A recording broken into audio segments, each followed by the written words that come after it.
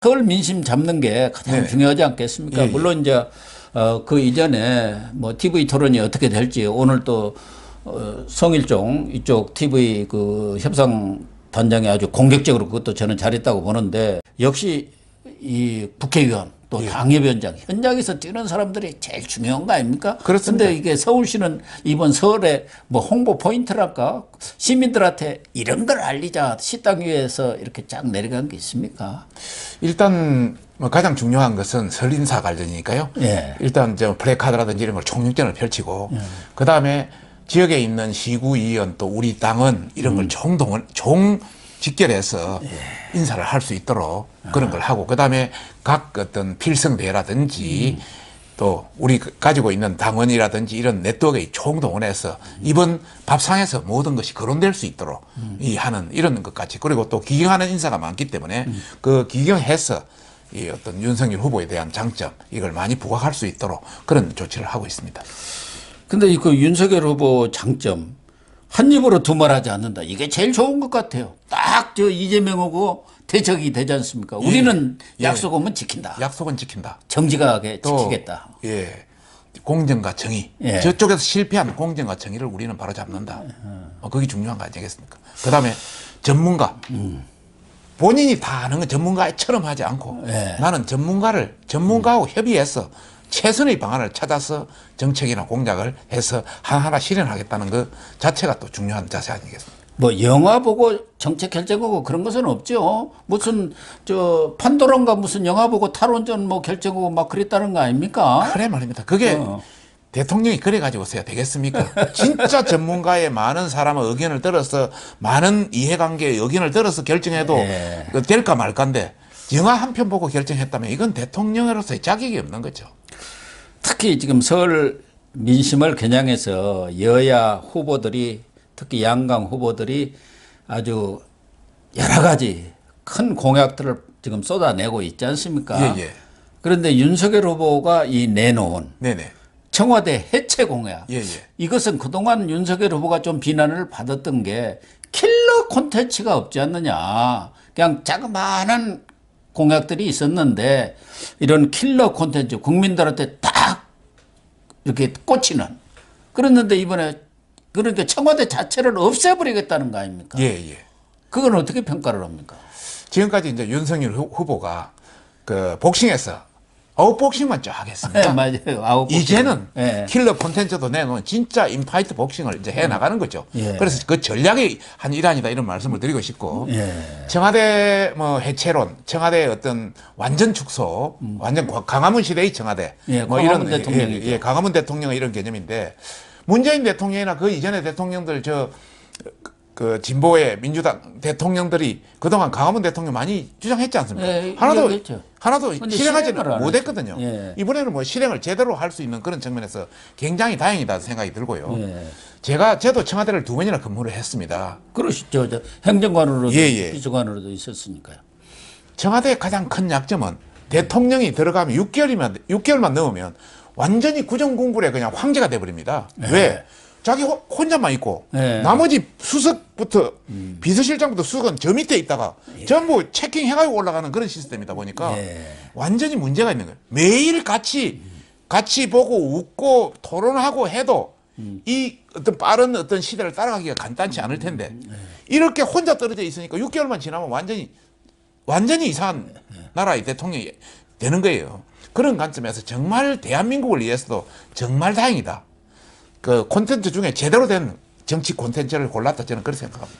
그러니까 광화문에 나와서 이제 청와대는 뭐 관광 코스로 만들지 어쩔지는 두고 봐야겠습니다만 부지 자체를 국민한테 돌려주겠다는 거 아닙니까? 네네. 관저도 청와대에 안 두고 네네. 뭐 지금 종리 종리, 공- 예. 공간을 이제 관저로 쓴다든가 뭐 다른 방안들을 강구를 하겠다는 거 보면은 정말 국민과 함께하는 또 관료들하고 바로 머리를 맞대고 지금은 내각이라는 게 청와대 저 장관이 행정관보다도 힘이 없다는 거 아닙니까? 뭐 비서관은 말할 것도 없고 장관은 행정관이나 뭐 비서관이 연락해가지고 와서 뭐 받고 이 비표 받고 해가 들어가야 겨우 대통령 만나는 수준이니까 굉장히 어려운 이야기죠. 그래서 비서관들하고 항시 수시로 서로 대화할 수 있고 장관도 언제든지 방문해가 할 수 있도록 이래야 대- 나라가 제대로 돌아가지. 예를 들어서 기업 조그마한 중소기업 하나도 예를 들어서 사장이 또 혼자 떨어져 있고 나머지 전무 부사장 다 별도로 돼 있다면 그 기업이 돌아가겠어요. 그리고 강화문에 나와야 거기서 시민들의 목소리도 좀 듣고 어, 또 퇴근할 때 같이 소주 잔도 좀 한 잔 기울일 수 있는 그런 대통령이 돼야 해요. 아니 뭐 영국의 그 총리 관저나 보면 바로 길 옆에 있잖아요. 그렇습니다. 그렇습니다. 무슨 지금 우리처럼 구중 궁궐에 있습니까? 예, 맞습니다. 그러니까 청와대만 들어가면은 뭐 대통령은 말할 것도 없고 비서관, 행정관들도 사람이 변했다고 하잖아요. 우리들도 과거에 아는 사람들 들어가면 그냥 싹 목에다 힘을 팍 줘버리니까. 자기들만 딱 안에 그 전화도 잘 안 받고 그래 버려요. 갇혀버리니까. 예. 예. 예, 그래도 뭐 늦었지만은 참 우리나라를 네. 위해서 음. 참 다행이다. 다행히 굉장히 좋은 콘텐츠를 제대로 이번에 발표했다 이런 생각을 가지고 있습니다. 예, 그러니까 대통령 중심 대통령이 아니라 진짜 국민 중심 대통령이 되겠다. 예. 뭐 그런 뜻으로 이렇게 있네요. 그 뭐 전체적인 아직 맥락은 다 발표를 안 해서는 모르겠습니다만 예, 음. 예. 대통령의 권한도 좀 축소해서 뭐 미국 같은 경우는 이 감사원 예. 행정부를 전부 집행하는 거는 대통령이나 행정부가 하지만은 그걸 감사하는 건 감사원은 국회에 있거든요. 예, 예. 그래서 또 예산 편성권도 국회에 있거든요. 예. 이렇게 해서 서- 서로 견제와 균형을 통해서 대한민국이 제대로 삼각 체제 위에 걸쳐 앉아서 제대로 된 국가가 되도록 하는 것이 정상 국가가 되도록 하는 것이 우리 후보의 생각 아닌가 싶습니다.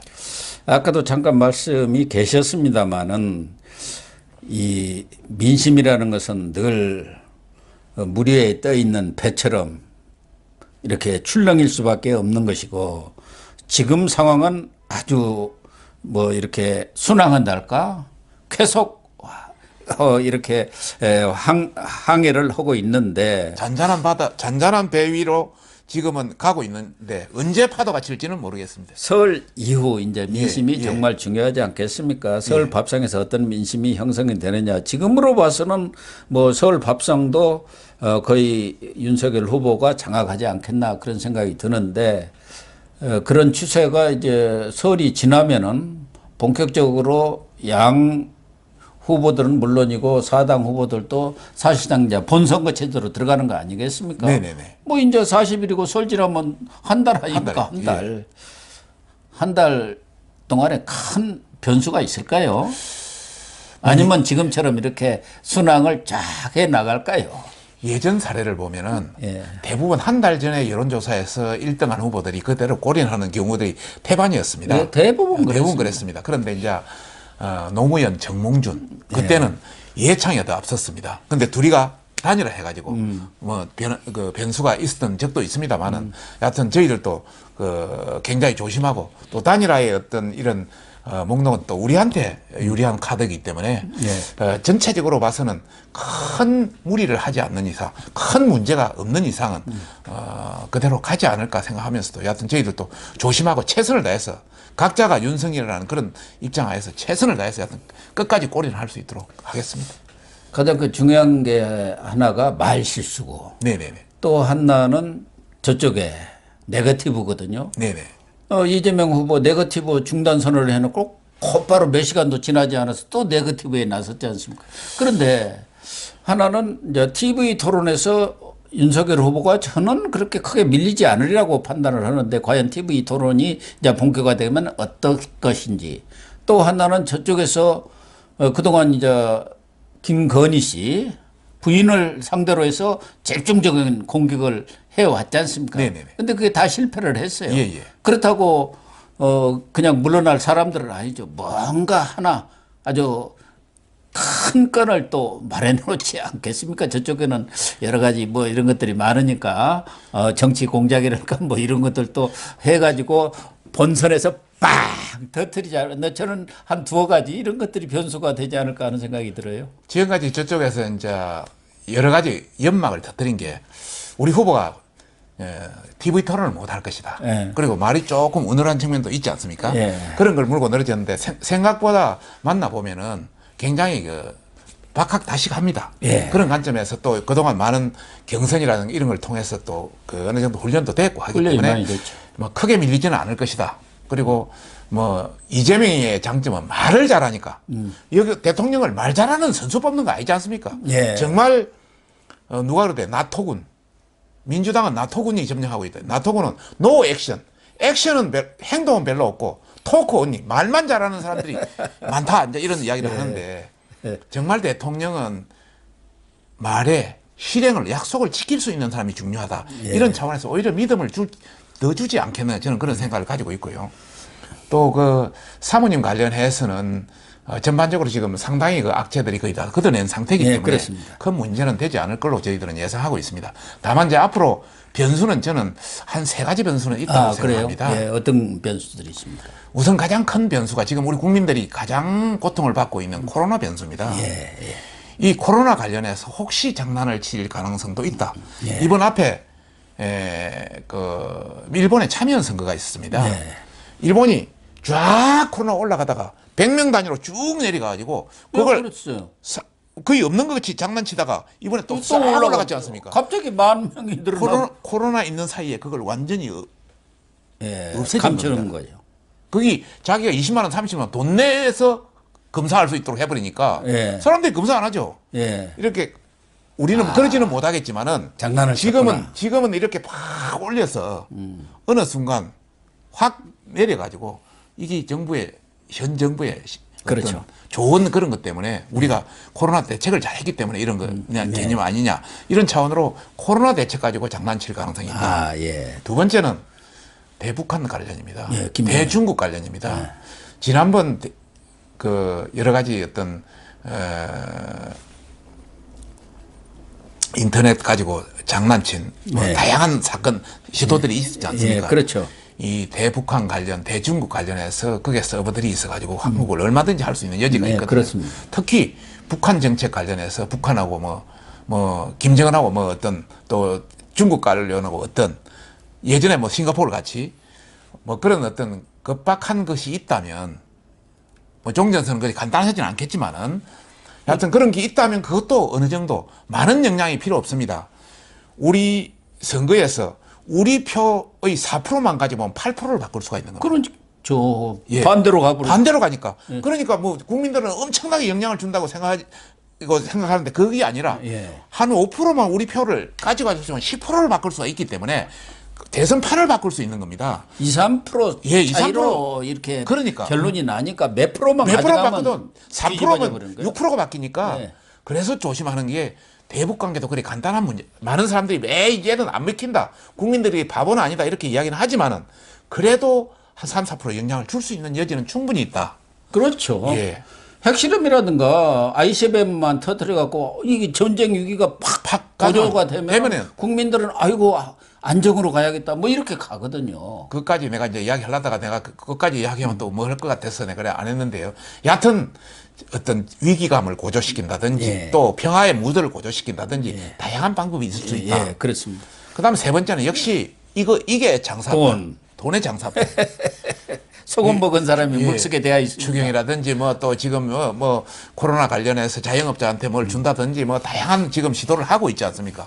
또 막판 나 놔놓고 뭐 한 10월 놔놓고 왕창 크게 발표를 한다든지 예. 이런 게 여, 여지가 있을 수 있기 때문에 저희들도 항상 조심하고 또 조심하고 대응책을 대응책을 잘 까- 세우고 예, 있겠죠. 예, 하고 있습니다. 예, 그렇게 되면은 뭐 3월 9일을 기대해도 되지 않겠나 그런 생각이 들고요. 3월 9일과 같이 선거를 치르는 곳이 다섯 곳이 있습니다. 네네네. 그런데 어, 민주당은 그것도 뭐 쇼지만 어, 이 종로 무공천을 포함해서 세 군데 무공천하겠다 그런 얘기를 하는데 바로 우리 에, 박성중 어, 의원님 옆 동네 예. 서초갑 예. 여기는 뭐 민주당 무공천 지역은 아닙니다만은 여기도 당내에서는 전략 공천을 해야 하는 것 아니냐. 또 윤 후보 쪽 얘기를 제가 얼핏 들으면은 그 너- 거기는 막대기만 꽂아도 당선되는 거니까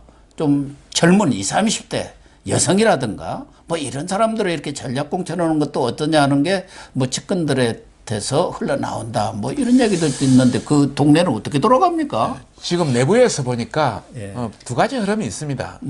어, 하나의 흐름은 방금 뭐 우리 교수님께서 말씀하신 대로 어, 종로라든지 또 서초갑이라든지 이런 동네는 좀 새로운 인물로 어, 전략을 해서 후보한테 부담이 없도록 저쪽에는 무공천을 했는데 우리는 우리끼리 뭐 또 경선에서 싸우고 하면 예. 모양이 안 좋잖아요. 예, 보기 흉하죠. 목이 흉하잖아요. 그래서 좀 그런 쪽으로 가는 것이 좋겠다는 의견도 있고 또 일부에서는 어차피 뭐 정치이니까 기, 그 경선을 통해서 그 뽑아주는 것이 더 낫다. 뭐 이런 두 가지 의견이 대립되고 있습니다. 거기는 지금 서초 의뢰는 서초갑 어, 서초갑 예.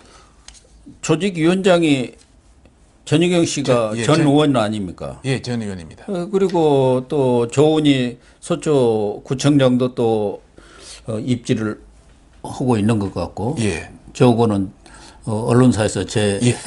밑에 예. 있었습니다만은요. 어, 어쨌든 관심 지역은 관심 지역입니다. 정미경 최고 뭐부터 예. 많은 사람이 남자들도 있고 뭐 다양하게 보는 것 같습니다. 이게 보선 내에서 이렇게 벌어지다 보면 어, 이- 입지에 해갖고 뛰는 사람이 열 손가락도 부족하더라고요. 발 예. 발가락까지 다 합쳐도 예. 부족할 정도로 예. 많이 뛰더라고요. 예. 예. 누구나 다 뭐 경쟁은 자유니까요. 예. 누구나 다 할 수는 있겠지만은 뭐 서초 을 위원장이 영향력은 행사 못합니까? 또 그쪽에 구청장을 하셨으니까 아, 지역에 대해서는 제가 뭐 구청장도 하고 또요 재선 아니, 또 의원이고 파트너가 좋아야지 않습니까? 또 다음 생, 어, 선거도 해야 서울시당 하는데 서울시당 위원장이고 하기 때문에 누구보다 잘 알지만은 예.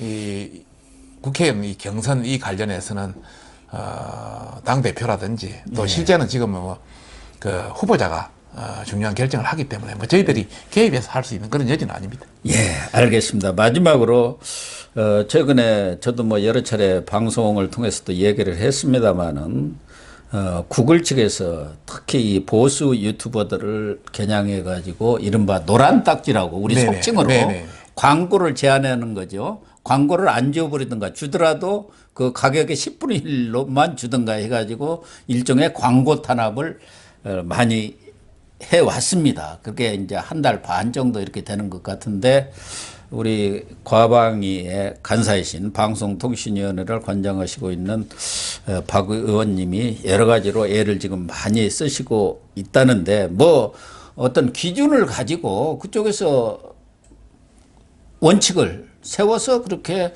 어, 제안을 한다면요, 그거야 뭐 어떻게 하겠습니까? 또 뭐 욕설을 한다든지 무슨 에, 테러를 부추긴다든가 뭐 이런 성 관계 그런 문제라든가 이렇게 에, 국민의 양속이라든가 또 상식에 어긋나는 그런 것들을 방송하면 안 되니까요. 네네. 그렇지 않고 정치적인 어떤 의도를 가지고 혹시 어느 쪽에서 구글한테 압력을 넣어서 과거 동아일보의 광고 탄압처럼 광고. 그런 행위가 있어서는 안 되겠지 않겠습니까? 좀 관심을 앞으로도 계속 가져주셔야 하지 않겠나 그런 생각이 듭니다. 뭐 그 교수님이 지적이 있어가지고 예. 저희들 혹시 그 보수 유튜브가 예. 음. 탄압을 받지 않나 해서 구글 측에 저희들이 강력히 한번 항의를 했습니다. 네, 그래서 우선 우리 보수 유튜브의 어, 구독자가 좀 많으신 예. 음, 한 2, 30군데를 골라서 한번 스크린을 해보니까 그게 한 상당수가 아, 그런 경향이 있다. 예. 이래서 어, 직접 그 유튜브 측에 연락을 해서 예. 여기에 대해서 어떤 사항이 있어 이러냐 전부 체킹을 해봤습니다. 네, 네. 해보니까 아, 역시 이제 정치의 계절이고 이러다 보니까 예. 우리 보수 유튜브에 그 출연하시는 분들이 좀 더 적극적으로 표현하고 또 적극적으로 아무래도 나서고 그럴 수밖에 또 없죠. 하다 보니까 예. 음, 그것이 AI의 어떤 바로 걸려들다 보니까 진보보다는 훨씬 우리가 아, 지적당하는 그게 많았습니다. 그래서 네. 이것은 잘못됐다. 음. 그래서 어, 어, 유튜브 측에서도 여기에 대해서는 굉장히 유의하겠다. 예. 아, 이런 어떤 답변도 받았고요. 하여튼 앞으로 하나하나 어, 뭐, 개별적으로 안 된다면 저희들한테 연락해 주시면 저희들도 또 접촉을 해서 어, 진보 유튜브보다는 어떤 제재를 받는 게 더 많지 않도록 저희들도 그리 열심히 어, 최선을 다하겠다는 말씀 드리고 싶습니다. 뭐 저희들이 경제적인 그런 문제보다도 어쨌든 3월 9일 대선을 향해서 또 보수 유튜버들도 뭔가 좀 기여를 하시겠다고 생각하는 분들이 많지 않습니까? 예, 예, 예. 아, 그러다 보면은 조금 과한 그런 표현들이 있을 수는 있는데 어, 궁극적으로는 정권을 교체해보자는 그런 큰 대의에 참여하는 그런 역할이라고 보고 뭐 그런 차원에서 이렇게 접근을 해 주시면 더 좋지 않겠느냐. 그렇게 하겠습니다. 어, 그런 생각을 합니다. 저희, 저희들 입장에서는 이- 그 보수 유튜, 유튜버 들께서 이렇게 적극적으로 표현해 주시고 또 강하게 표현해 주시는 게 저희들한테는 너무 고맙죠. 예. 너무 고맙기 때문에 저희들이 은인이라 생각하고 여하튼 최선을 다해서 보호하겠다는 말씀 드리고 싶습니다. 예, 이제 뭐 대선이 얼마 남지 않았습니다. 특히 이 서울은 민주당 내부 보고서가 지적한 대로 대선을 판가름하는 곳입니다. 예. 거기 전체 식당 위원장을 맡고 계시는 박성종 의원님의 어깨가 무겁고 책임이 무겁다고 생각합니다. 그래서 3월 9일까지 전력 투구를 해 주시기를 부탁드리면서 예. 마지막으로 좀 마무리 말씀을 좀 해 주시기 바랍니다. 그 옛말에 코를 찌르는 매화 향기는 살을 에이는 듯한 추운 겨울을 견딘 매화니 그 향기를 낸다고 그랬습니다. 예. 정말 우리가 지난 5년 너무 어려웠습니다. 너무 어렵기 때문에 우리가 이 정권 교체, 정권을 쟁취한다면 정말 국민한테 향기 나는 그런 정, 정부, 정권을 만들어서 우리 국민들이 잘 사는 그런 정부를 한번 구현해 보고 싶다. 정말 국민 여러분 도와주십시오. 저희들 최선을 다해서 멋진 나라 만들겠습니다. 네. 에, 시청자 여러분, 오늘 방송 여기서 모두 마치도록 하겠습니다. 시청해 주셔서 감사합니다. 아유, 수고하셨습니다. 고맙습니다.